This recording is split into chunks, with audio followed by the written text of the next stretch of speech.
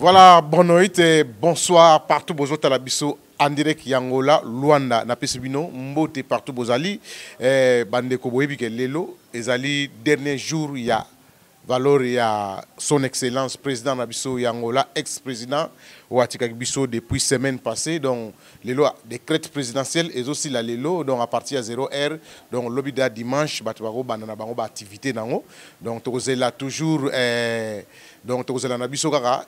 quand gouvernement oyo ndenge bakosolola na famille ya eh, president na biso ex president na biso Eduardo dos Santos oyo atikaki biso vraiment donc quand bakosolola mpo na arrive ya corps na ye awa na kati ya angola na luanda donc toujours badebat ezali bazodialogue kaka bino moboyebi kaka eh, makelele ezali entre famille na gouvernement na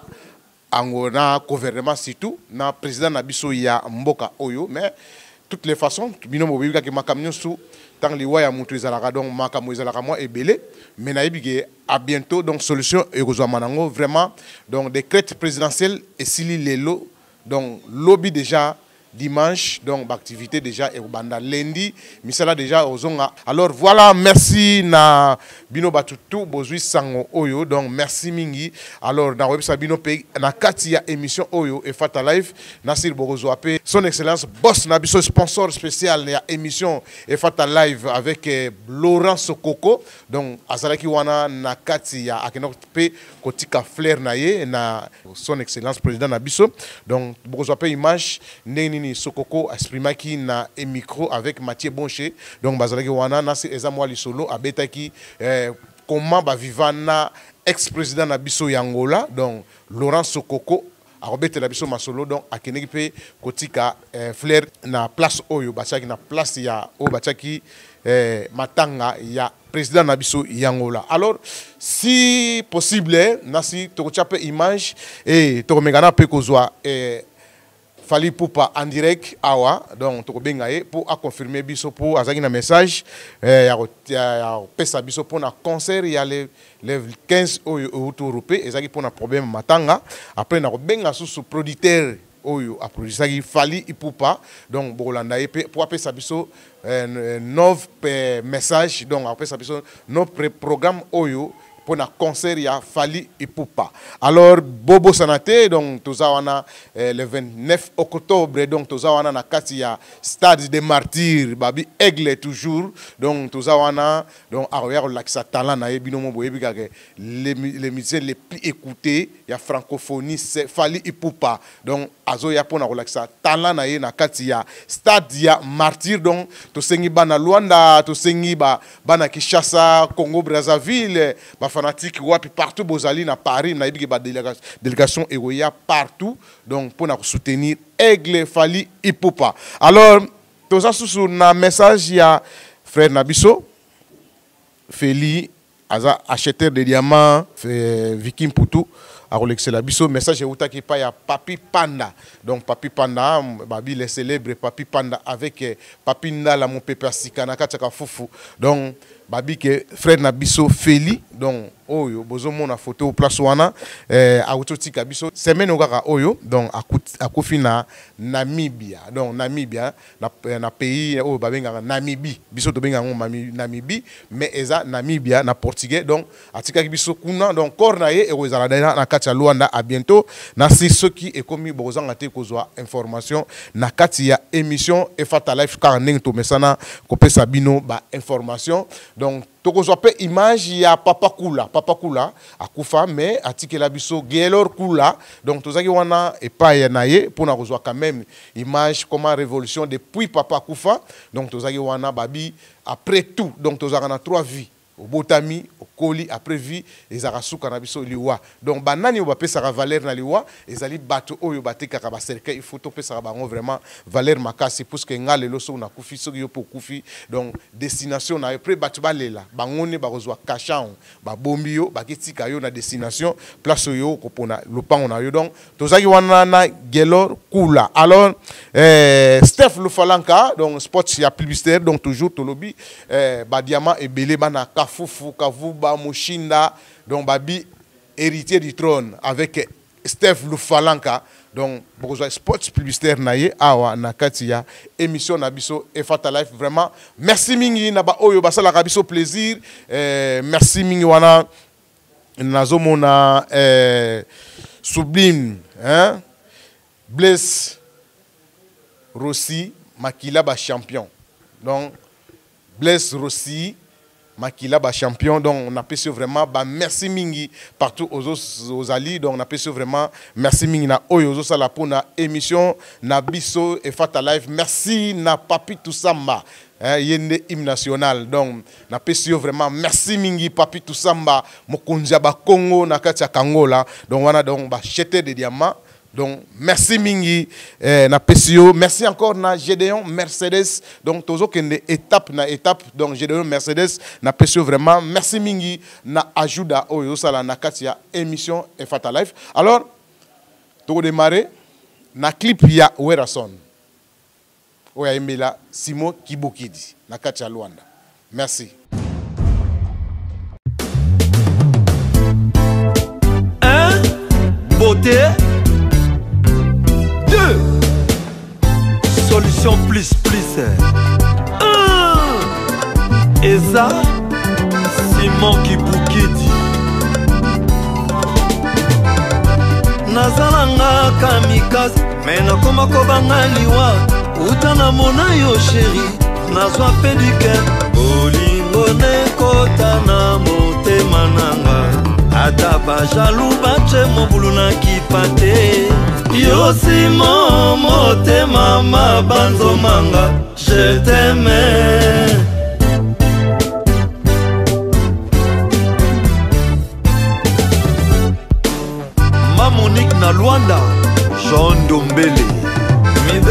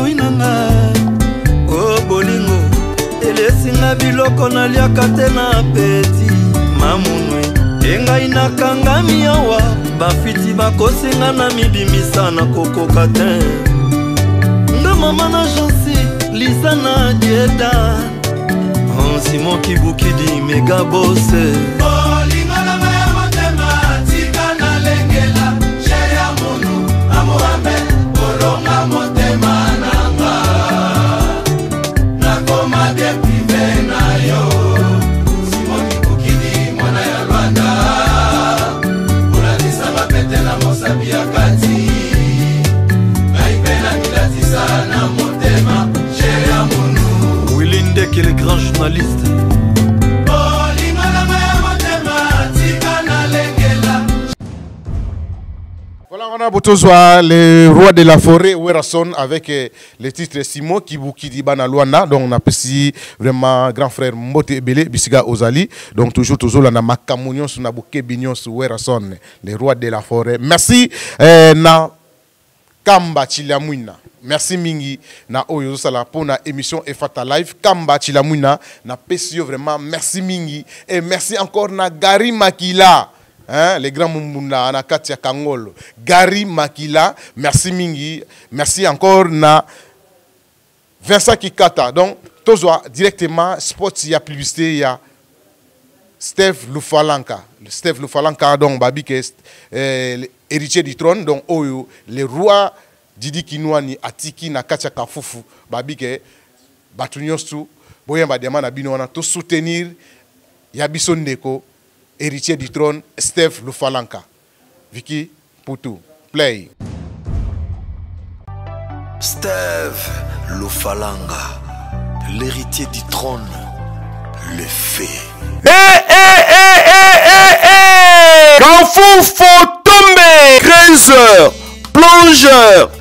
C'est l'adresse pour notre teka diamant na yo. Eza bongo comptoir d'achat des diamants Stéphane Loufalanga avec le boss Steve Loufalanga l'héritier du trône. Mwana Nzambe. Ye asomba diamant atala te. Le grand acheteur de diamants. Pour teka diamant na yo avec sécurité. Kende mbangu na comptoir d'achat de diamants Stefan Lufalanga avec le boss Steve Lufalanga, l'héritier du trône.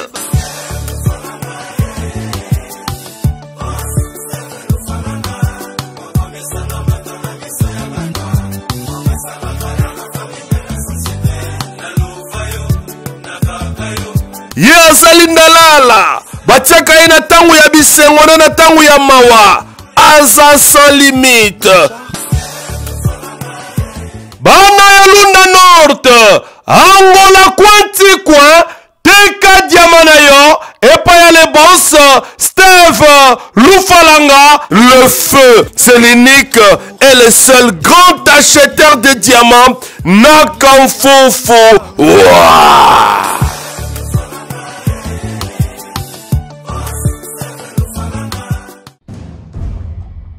Voilà, on a spot ya publicité ya Steph Lufalanka, babi héritier du trône na kati ya Kafufu. Merci encore na yo mutuzui confiance ya kotala biso wana na zomo na kamba chilamui na toujours na pesi yo bambote ebele papi tusamba mokonzi ya bakongo donc na pesi yo vraiment merci encore et merci encore na mon boss toujours nazoloba nazo répéter hein babike blaise Rossi Makila ba champion. Hein? Blaise Rossi Makila ba champion vraiment. Merci mingi. Alors tozo kende toujours pona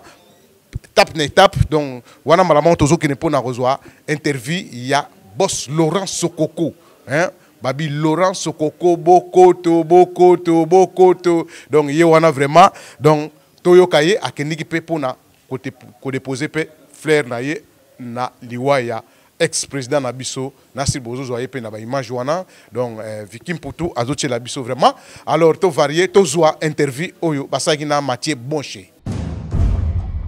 mwana ngai president dos santos ayaki vraiment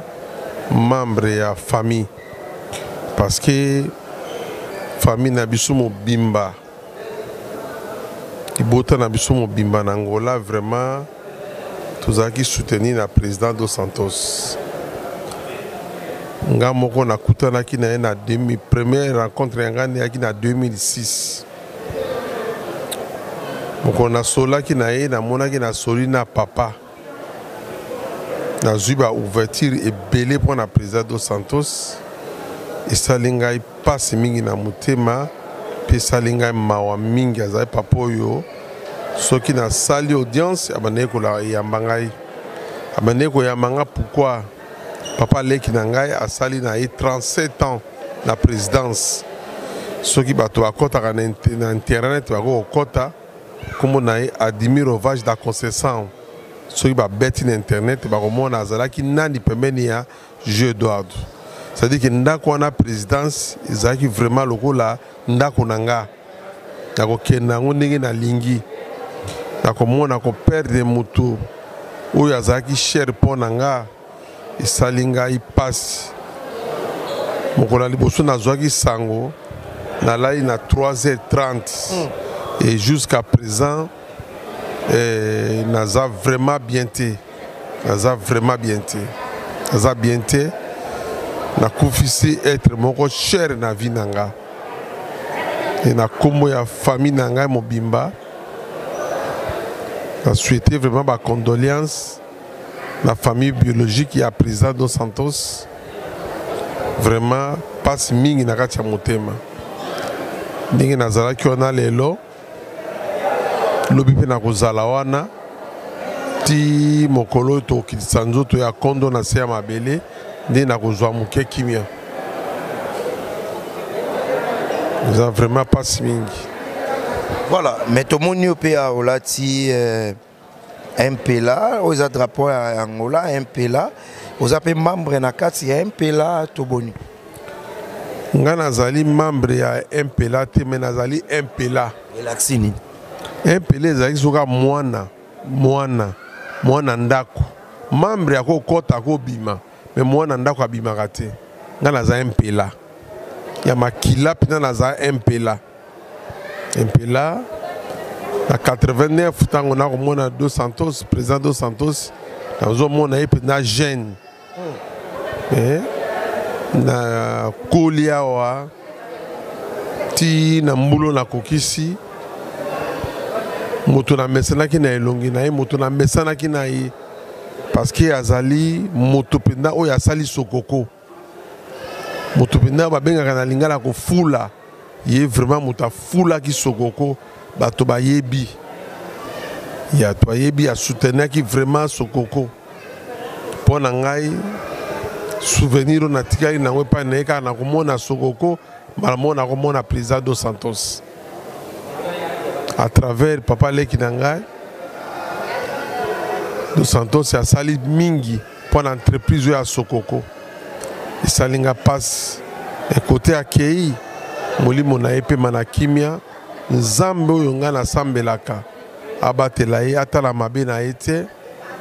atala bolamu na yo lelo peuple ya angolais mobimba ba mama ba papa bana bakolela mai ya miso na ngai eza kobima ere nyonso mpo na komona ndenge papa wana akei na sia mabele eza nzela ya biso nyonso lelo ezali ya ye lobi ekozala mpe ya biso bamosusu me ngai nalingi avant tokɔta na message ya suka Totala nanu ya Laurent Sokoko parce que tomonaki président na biso ayaki na moi après ye Laurent Sokoko ye pa kenda ipo atika flair na ye. Ensuite d'abord ça a complicité avec ingénieur Bravo et pourquoi pas Tracy Mbelenga Pro. On suit ça et puis on se retrouve tout juste après. da República, o atual chefe de Estado angolano, João Lourenço, refere que neste momento de dor e consternação, os angolanos choram José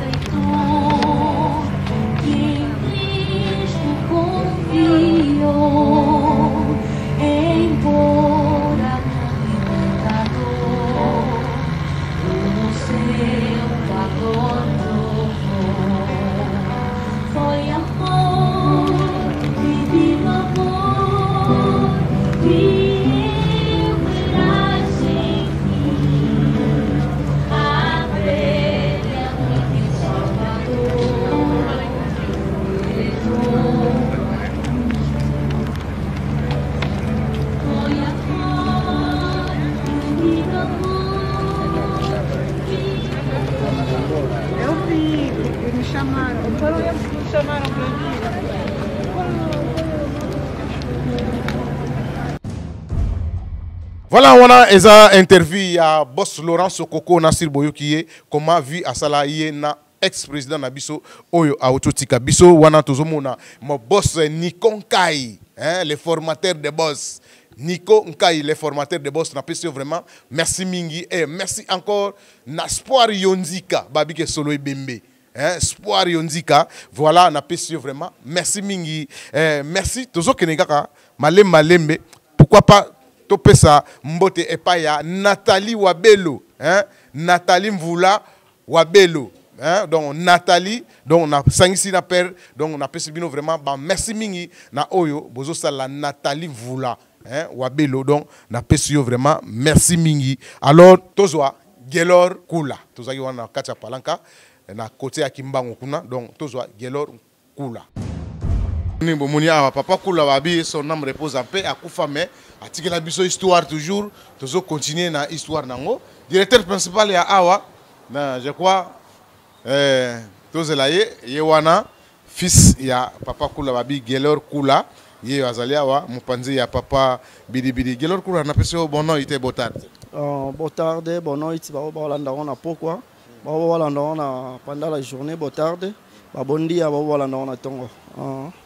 Alors lelo oza remplaçant ya papa Kula, papa Kula kena après la après vie ya mutu c'est la mort. Na après la mort eza na bateau ba pesaka mowei respect. Donc eza parmi eza bino ba ndenge bageler kula papa aza sute papa aza na bomoi te asi akenda atikeli biso yo ah, geler kula komona yo oza mwana moke komona yo Oza na age moko ya ya hein ya ya, ya muke mais peut-être toloba muke mais tout muke bongo ebele ekozala bongo eza ebele mais kala na biso ezalaki esongi nini okoti na ba place ya faut banga il faut banu tsa soyi obanu obanu tsa obanga alors ligera kula responsabilité oyo ozui ya boye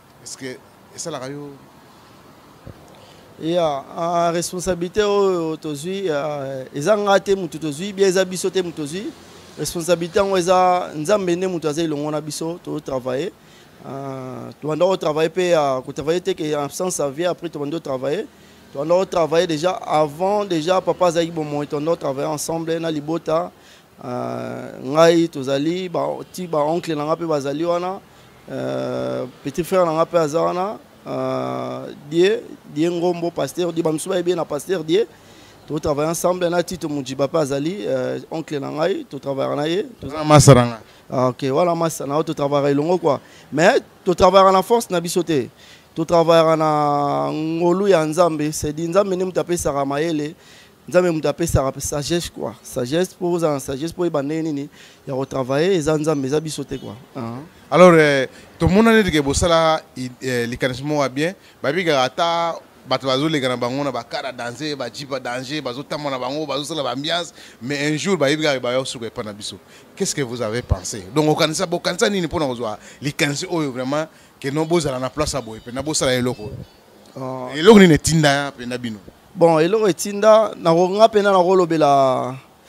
eloko etinda eza parce que uh, motu soki akufi okozala na bandako okozala na mituka okozala nango mpe te mais soki okufi esenga fo bakunda yo alors mpo bakunda yo fo basala elo cercueil auparavant biso mpe tozali wana na mosala yango te kala deja bato babandaka makambo yango euh, ezali so moto akufi kala bazali mwa bango basali cercueil na moma wana bakundi motu mais eloko wana déjà monde comme évolué ezalaka su te ke non motu so akufi fo okende boluki mabaya mpo osala cercueil ekoma deya ke fo motu aya akuti déjà cercueil si basala asali choix oyo akoki nango kua balobaka tala na bakongo balobaka tala maza tala luku kua otali oyo oza nango otali mpe kuna kantita mai mpo motu abongamelaka kokunda motu aza te ozomona so kua kaa na ekweli yo okotala makoki oyo ekutameli na yango na moma wana osali nini orealize mpo okunda motu akende na kimia nyonso to kua babi mais après bopesaka bape valeur na bamowei parce que kokufa ya motu so motu akufi bopesi quand même eh, bosali cercueil bopesi eh, famille eza respect donc boza parmi bato bapesaka respect na mowei ah, biso toza parmi bato oyo oh, tosala dernier hommage ok biso service na biso eza service ya sociale Euh, totalaka kaka mbongo te kua totalaka kaka korendre korendre kotoba nini kozala kozala social na motu nyonso tu cestadi motu akutami aza na mbongo aye asombami mpe na oyo ya mbongo eza wana asombi na monta oyo aza nango motu mpe akutami aza na mbongo te aye asololi na ndenge ya social tosali nini tokosunga ye kaka ozana mpe na bacercueil oyo ezaki non motu mpe soki aye aza na mbongo te mai na etape ya mbongo oyo bango bazali mpe botekeli bango Oui, toza na cercueil ya qualité nyonso tu eza na qualité ya se na qualité ya likolo mais nyonso esengaka kaka lisolo ozomona lisolo euh, lisolo soko ye osololi tobongisaka toujours tokoyokana tozwi tosali service gelor esalaka yo mpasi exemple ke non moto aye awa boyokani prix te abimi na sima nango esalaka yo ata eloko moko te ma il faut nasala aide wana mais esalami te esalaka yo mpasi te non euh, soki moto aye toyokani te ezalaka na moto mosusu sediso moto wana alingi te wana eza peut-être nzambe apermeteki te ke wana eza ya biso totikeli bandeko mosusu bazwa kua est ce que ndenge botia baetape ya ya ya ya bacercueil omona cercueil mosusu eza etape mosusu mosusu eza etape mosusu eza etape mosusu eza etape mosusu ti boyokita ti na se ya baprix mais est ce que tocomprendre liwa mpe ezalaka na baetape non bon liwa liwa nyonso eza na yango ya liwa moto oyo akundami na oyo eloko eza plus cher na oyo akundami ya, ya prix ya se nyonso wana bakundami na bango mais ezalaka par rapport ya mutu wana oyo asali na mokili ndenge ezalaka mutu mosusu omona atangisi batu asali bamambo ebele ebele kua mais jour akufa ezalaka bato oyo batikali en vie bango nde mutu bareconnaitaka mutu wana mpo mutu asina reconnaissance moto wana mpe akotikala na ye bambongo na ye bandako na ye me bato batikali so baboyi na bango kokunda ye bien bosani bakosala oyo bango balingi bakundi ye ozomona me ye mpe moya boye ya kokundama eza te akokundama kaka nde balingi bakundela ye me soki akutami na bato oyo atiki baza reconnaissant envers ye bakosala nde babi te papa oyo atangisaka nga papa oyo asungaka nga papa oyo asalaka boye tosala ntika nini tokunda ye malamu yango omonaka ke moto akundami bien euh, ezalaka te ke par rapport ya ye moko asali choix te ezalaka par rapport ya bolamu oyo asalaki bato bato wana mpe bazongiseli yango na mokolo ya suka na ye nde yango omonaka moto akundami bien mais soki ekutami mpe na moto soki asalaki bolamu euh, akutami na bato bakozongisela yango dernier hommage eza te omona moto wana akundami bien te bato bakomi oregrete kaka kua moto wana asali bolamu me bakundi ye bien eza nango mpe lisumu soki eza lisumu bon bon kozala lisumu to kozala lisumu te wana eza nango kaka nzambe kaka moto ayebi me ya mpo na ngai ezalaka loya lokola nini moto oyo asibabi la main qui donne c'est la main qui reçoit c'est dit moto so asali bolamu c'est dit ameritaka kaka bolamu ozomona non teke motu oyo asala nga bolamu bi asalaki bolamu na bato bato bazongisi ele le contraire vraiment esalaka mwa choquant quoi alors lelo oyo soki neti ke oza na kati ya luanda oteki exemple sans cercueil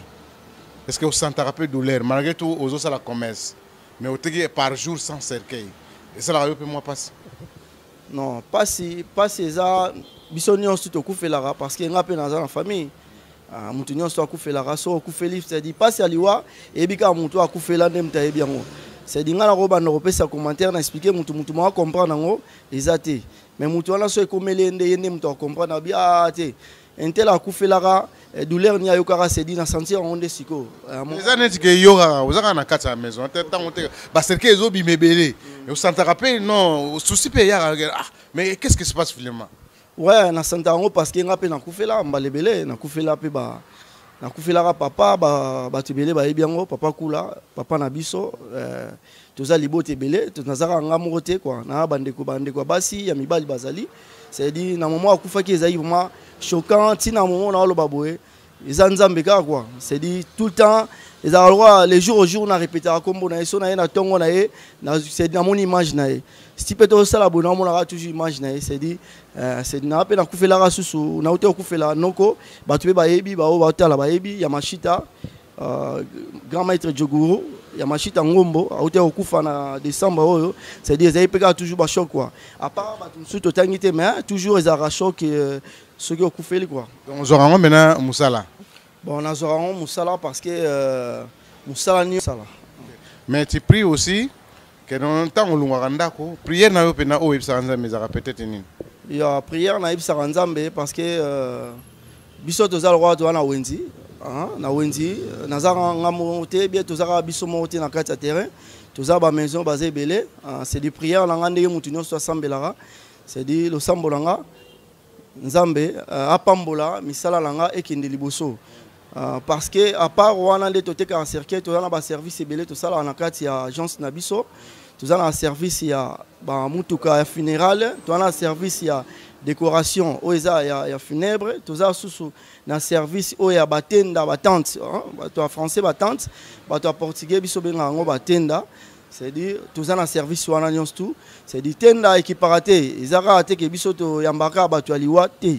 toyambaka bato mpe oyo basalaka bafeti toyambaka bango bafeti ya anniversaire bafeti oyo ya, ya mariage bato basalaka c'est dire bafeti oyo ya leta nyonso basalaka bainventu biso tobengaka yango awa c'est dire nyonso wana toluesaka batenda ezali c'est dire toza kaka parti oyo ya ebembe te toza na parti nyonso wana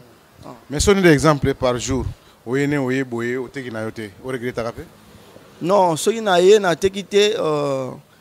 nakoki koregrete te parce que euh, biso toza lokola toza lokola bilanga ndenge esalamaka nde nzambe akela akela ezalaka na temps na temps toza na temps oyo ya fruit ebimi temps oyo ya fruit oyo ebimi cedi soki lelo nazwi te nayebi ke elobi nakokende toujours na espoir nzambe akopesanga c'est dit non sepela quand même opesi quand même nzambe merci na moni non journal lelo eh, na teki te c'est que muta kufite bon nakoloba te ke moto akufi te mpo moto akufa chaque jour parce que so lelo ngai nateki te mais eza baninga mosusu bateki sedi nzambe apermettre bango bateka mokolo ya lelo ngai nateki te mais lobi mpe ngai nazela mokolo na ngai alors eloko nini okoyebisa bana lwanda na 2021 oyo oyo obombeli bango oyo ezalaki peut-être eh, bakokaki kose trouve yango te baye sikoyo baya kose trouve eloko nini ozoyebisa mpenza na baclient na yo puiske eza mosala bandeko na yo eh, surprise nini oyo osali ya 2021 oyo bon surprise na 2021 oyo nakolobela nini naobi ke bandeko mosusu bayokaki ke o oh, papa kula akufi euh, akufi peut-être euh, ayebi ke agence ya papa kula ezo existe su te nayebisa bango ke agence ya papa kula ezo existe toujours eza très fort parce que tokoki otika te ke nkombo ya papa e disparaître c'est de temps ke papa aboti ta papa atiki libota atiki famille eza wana c'est-à-dire nasengi bino nyonso tu boya boapuye papa kula akende liboso kua bato balingaka papa kula baya batya biso maboko mpo tokende toujours liboso pesa bango siko référence en ah, référence ya maison na biso eza na so outi boye bato autaka golf doge baye boye baleki église ya kimbangu ere bazokoma entrée ya utanga na ngambo mosusu ya golf golf 1 agence eza wana bato mpe bautaka na sanatorio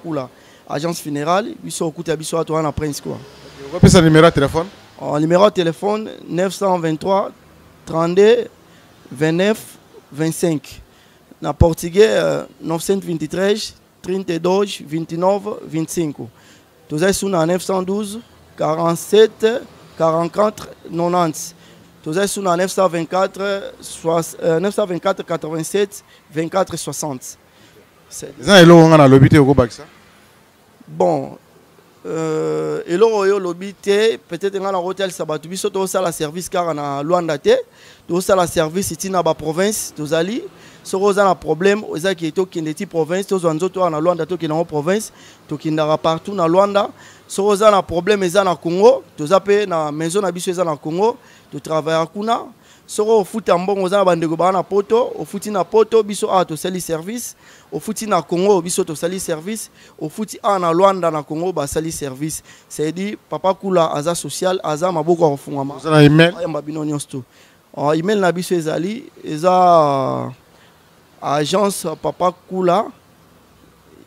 bon vraiment na préféré mingi olekisa yango tokotia yango wana na se tokotia yango wana na se ah, ok alors euh, gelor merci mingi mpona réception na yo nayebi ke euh, bato peut-être bakimaka maison na mosika awa ba ba ba prix eza cher po to bamona ba spécialité ezali awa bona boye mais tokoloba kaka ke non eh, liwa so moto akufi mingimingi grand frère na ngai ntango akufaki nayaki mpe awa donc nasombaki mpe cercueil awa donc bokotala boye te lix mais essentiel ke cercueil na cercueil eza na prix na yango donc sele mbongo na yo oza na yango bakopesa yo bakolivre yo eloko oza nango Voilà, merci. Wana toujours eza quand même toujours continuer toujours bana bino donc merci mingi. Ah na auto zo pe moi image moko oyo tokozala nango oyebi ke to tambola pe na Luanda donc comment donc to tambola na événement oyo elekaki ya matanga na si bolanda pe interview moi interview ya batu oyo tozwaki na kati ya babar donc tout bato tout vraiment bazalaki wana vraiment bazalaki eh, panique mpo na liwana vraiment communiqué ya gouvernement motu tout atosaki babar tout ezalaki fermé donc motu te oyo azwaki mpena temps ya kofongola bar donc tozalaki kaka mpo na kolela ex président na biso vraiment viki mputu na suka akotyela biso eh, image wana vraiment blaise Rossy lolendo makila ba champion vraiment merci mingi boss na oyo osalaki eh, merci mingi na kiva santa donc na peso vraiment merci mingi eh, merci encore opo emission na biso ekomo ke nango na suka nasi image ya suka tokosukisa tokozwa quand même appel oyo tokoyoka epa ya ba producteur na biso oyo basalaki pona concert ya Fally Ipupa soki pe tokozwa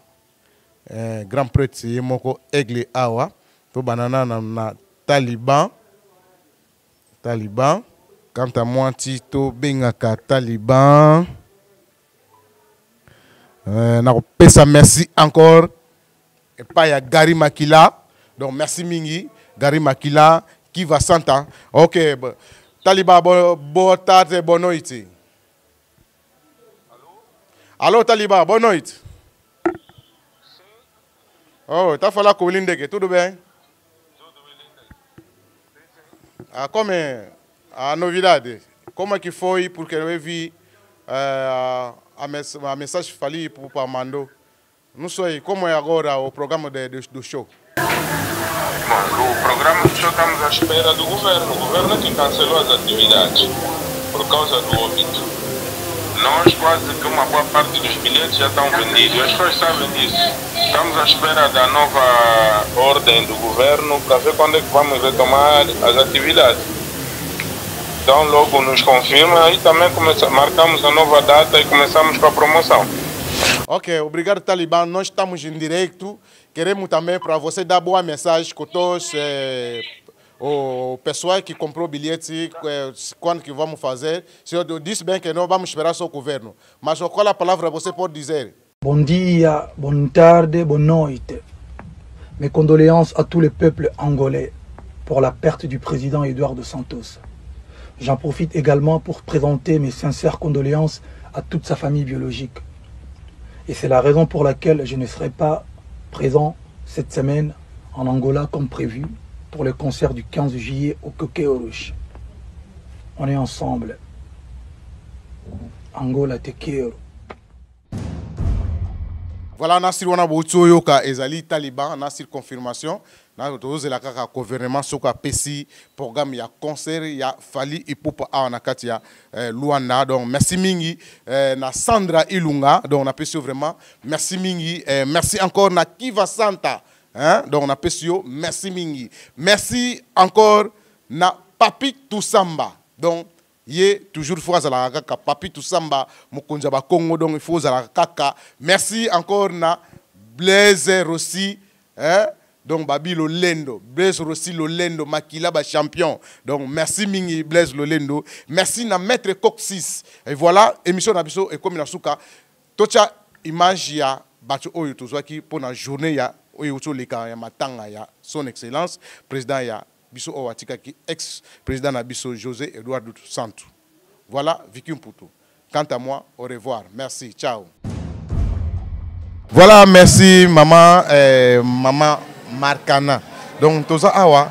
puisque au début journal lelo, eza journée moko toza totolela toujours eh, mokonzi ya mboka na biso oyo awuti otika azalaki mokonzi ya mboka na biso alors eh, mwa mbeya epesamaki na bato nyonso gouvernement epesaki mbela balobi ke partout bino nyonso fo bozala vraiment na kolela mokonzi ya mboka nayebi ke mama place ozali markana eza place oyo bato bazalaka mais toye awa vraiment tokuti vraiment vide ezali na famille na ye okoloba nini surtout na peuple mpe angolais biso nyonso tu eloko nini okoloba donc ba mes condoléances na famille na ye kwa toyebi ke bazwi choc bazwi problème grave mokonzi monene motu monene na famille na, na famille akwei donc ba mes condoléances kaka mm. eyosala mpe mpasi te ndenge ovandi boye ozoteka te nini te mpo bato mosusu bavivaka na intérêt mpo na yo pendant 7 jours oyo bapesi biso mpo na kovanda kimia ezosala yo mpe eloko moko te eza normal toza na matanga toza toujours na matanga tozozela matanga eza normal fo tolela ye il faut wana papa hmm. wana papa il faut merci mingi mama ma markana vraiment tosepeli mingi toza na papa eh, responsable papa markana ye yo nasili boyebi ye oyo eza elonga kobongaki toza na mawa mingi papa auti kotika biso papa zedu auti kotika biso banda semaine passée hmm, donc eh, moto arenie na biso abokoli biso pendant 32 ans si je me trompe pas lelo awuti okende yango omoni mpe na bar tontwana mawa miziki ezobeta te totandi kaka bakiti kutu mpo na biso tonga tosala meme lona me tolobi bon tokoma me mpe plus loin te tosuka kaka nanu wana mais drapeau nyonso eza berne bande bana na ye nyonso tuna angola atiki awa baza kolela ye misiki eza te tozali awa mpona 5 jours batiaki kutu na matabisi tokomi na 7 jours donc ti vendredi tozali kaka mpona kolela papa ok est ce que papa na époque na ye oza na babonne souvenir na époque nde na babon souvenir ebele vraiment ya makasi hmm. tolongwe na étape ya guerre papa batikeli ye mokumba nyonso tu oyo na papa agostino neto atikeli ye mokumba azalaki nano jeune nano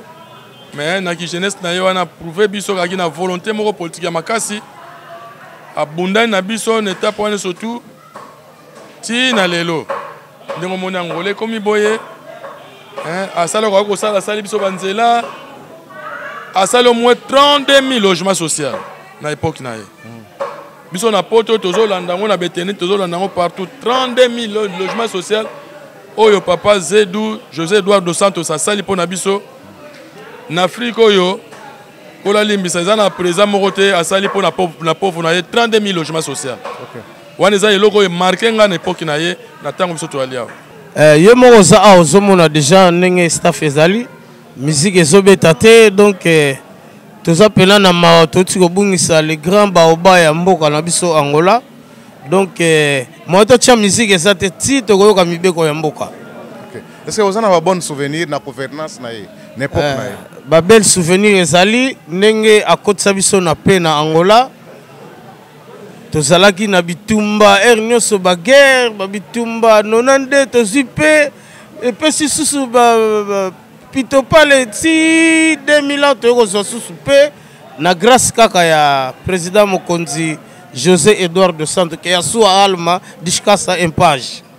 oza mpe na babonne souvenir na époque na ye baépoque na ye vraiment babelle souvenir ezali mpo eh, tokoli na ndenge moko ya kimia ntango tozwaki mpe naboti bana awa na kimia bazokola mpe kaka na kimia ti lelo toza kaka boye donc euh, grâce ya papa wana vraiment douleur vene eza makasi makasi oyo azalaki mpenza papa moko katikati na biso mpe na bana na ye donc tolingaki mpenza mingi papa oyo donc hmm. toza na badouleur feni oh. eza ebele ya ebele moyen de olobesa te ya ebele ti lelo biso bana biso toboti toboti na eduardo eh? Hmm. Eh, message nini opesa na famille eh, surtout na bato oyo mpenza bazolanda yo eh, ndenge tokoki toperde eh, mokonzi ya mboka na biso ya kala dopesaka dolela do, babi dolela na baoyo bazolela mm. dopesaka mes condoléances na famille ya président na bana na ye na bandeko na ye na bamama na ye na bapapa na ye donc bames condoléances mpenza ye donc kada peso aza na ndako na ye aolela président donc ndenge moko kaka biso toyaka kosala lipeza mm. après tozonga na bandako donc toyeka tosala balipeza mpo tolela mpenza président okay. président mpenza akufi toya na mpasi makasi mpo topedre président moko tokozwa ye te na sens nini ngai nakoti lwanda nde babanda oloba lwanda eza poto eza poto ya solo mpenza lwanda eza poto nakuti makambo nyonso facile na lwanda kolia eza facile mbongo eza facile moto ata azoteka nguba mabele mapa o mwana pokwa akangi dollar na ye abombi nayebi sero ngai nakoti nayokaka masolo bato mosusu babandoke poto na vandilatere nde toperdre président oyo naza na mpasi makasi na ye na esengo te toyebi te so tokozwaka lisu président oyo toza na susi mpe ya na lwanda selo bandoto oyo oza kokanisa mpo na vie na yo na epoke na ye to orealisaka yango ntango nakoma ye a mpenza na retrouvaki na sens ke makambo nyonso mpa na ngai ezali facile tala ozo voyage banda congo ozonga ti lwanda sans document donc ezali mpenza facile na nyonso mais oyo te eh, oyo eza difficile na sens ke il faut document ezala so document eza te bacomplike yo vie ezali mpenza bien na nyonso